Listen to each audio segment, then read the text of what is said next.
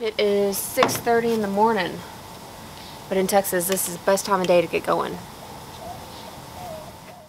If you missed part one or part two of the fence building series, and I have left you links to both in the description below. This week I got started on building the boxes that will go around the steel post, and to do this, I am going to be using three pickets per post. Now, the brackets used to hold the panels to the post actually will extend past the width of the boxes that I'm going to be building. So the first thing I did was grab some brown spray paint and paint all of the brackets. And to make the step a little bit easier, I cut out a template out of some cardboard. Now, we were thinking of a few different ways on how to attach the pickets to the steel post, and we decided to use self-tapping screws to go directly into the side. However, it was way too much of a bear to try to drive in the screws with, without pre-drilling first. So I would hold the picket in place, pre-drill through the wood, and make a mark on the steel post on where the screw needed to go in. Then I would set the picket aside, finish drilling the hole, then set the picket back into place and drive in the self-tapping screw. This method was a little time consuming, but it definitely worked well. The picket felt rock steady on that post. After I got done with one side, I would repeat for the other. To finish the box off, I came back with a third picket. I used something flat, a speed square in my case, to make sure that it was in line with the two side pickets. Then I used a little bit of construction adhesive and my brad nailer to attach it permanently. The next thing I got started on was cutting all of the top caps to go on top of each box and I set up a stop block at the miter so I can make these repetitive cuts go quickly. Then I turn my miter to 45 degrees and cut off what will be the front two corners. To make sure that they all came out identical, I would line up the 2x8 corner with the edge of my miter saw fence before making the cut. Then I was able to start attaching it to the boxes. And to attach it to the box, I'm going to be toenailing in two screws on the top side since you won't ever be able to see the top.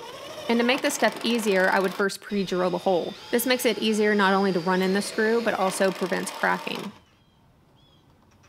Feels good. So next I started adding the trim, which is of course completely customizable. I have quite a few pickets left over that didn't make the cut for going on the fence because of things like this or things like this. So I'm to use these to make the trim for the posts. So I would use just a few dabs of construction adhesive and then my brad nailer to attach them. And since all of the boxes are the same measurement, you can set up a stop block at the miter saw and make a huge stack of each cut. That way you can very quickly just throw on each piece as needed. I would start off by adding the back trim, which is a little bit taller, and then come back and add the top trim, which is a little bit shorter. And of course, just my opinion, but I think that these three components give all of the boxes a bold, but I don't know, an elegant look.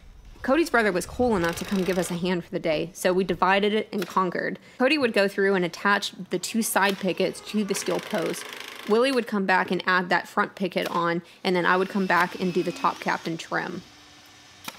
So the last thing I'm going to be doing for these boxes is going through and applying a, a, product called Fence Armor. This is just a small low profile metal bracket that slips onto the bottom of the post to protect it from getting eaten up from a weed eater. It connects to the post with just one simple screw, and this way we can come through here and not worried about the, the wood on the post boxes getting chewed up over time. Now, of course, I went with brown since I have a brown stand on mine, but they do come in all different sorts of styles and colors. So if you're interested, I'll leave you a link below. Okay, moving on to the final step, building a gate. The first thing I did was grab the 2x4s and cut the four joints that will make up the frame. Now, I decided to use half lap joints just because of the strength that they give. Now, since I have a table saw and a dado stack, that's how I cut in the half laps. However, if you don't have these tools, then you could also do this joint with a circular saw and a chisel. And I'll leave you a link in the description below where you can see an example of that. To attach these joints together, I'm using Titebond 3 since it is rated for outdoor use, and then 4 screws per joint. I also use these right angle jigs just to make sure the corners were nice and square before actually attaching it. So this diagonal support is really important because what it does is it transfers the load from the top unhinged corner to the bottom hinge corner. So before setting this uh, the support in place, get the orientation of what's going to be the top and bottom of the frame and then also what's going to be the hinged and unhinged side. By running this diagonal member correctly, it'll prevent sagging over time. Now the only reason I'm using a 2x6 for my diagonal here is because I ran out of 2x4s. To attach it to the frame, I use glue and three nails per side. Once again, just pre-drilling these to make it a little easier. If you have a pocket hole jig, you could also use that. Now, when building out this side of the fence, we left the top cap as one solid unit so that we could attach the frame to the top cap and not have to continuously wrestle with it to finish out this side. But you can see I can I can remove the clamp and it's now set in place. I ended up attaching some center horizontal members so that later whenever attaching the hinges I would have some good meat to go into.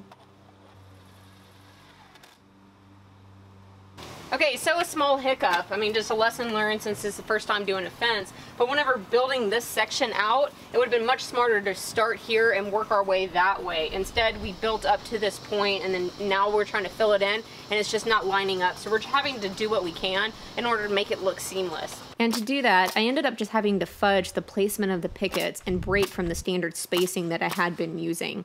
So I ended up fudging a few pickets right here on the left, but then spacing normal across the span of the gate, and then fudging just slightly on the right. So some of the spacing directly to the left and right is a little bit narrower. But really, after everything was said and done, I think it's one of those things that if you're not really looking for it, then you don't notice it. And I'm pretty happy with the way that it turned out. Okay, now on to mounting the hinges. Now these hinges are attached using lag bolts and they need good meat to go into, but some of the holes fell on the space in between pickets. So we traced out the hinges on a picket and then cut it out using a bandsaw. You could also use a jigsaw. And then attached it to the fence right underneath the hinge.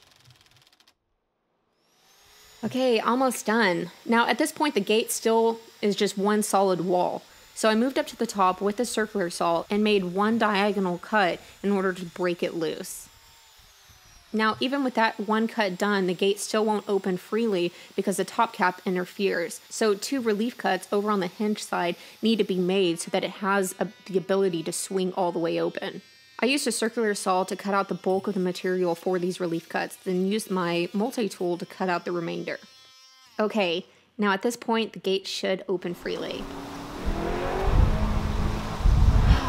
That is a sigh of relief. So I'm calling this project a wrap. This was a really fun but huge project. None of the steps are technically difficult. It's just the sheer size of the project that makes it difficult. So my advice to you if you're looking to replace your fence is to schedule it out to where you can take your time with the project and not get overwhelmed with the process. Now, I do have a full cost breakdown of the entire project on my website, and I'll link to my website, the tools I use, the materials are all in the, the description below for you. So I hope that you enjoyed this three-part series, and I will see you the next time I'm working on something.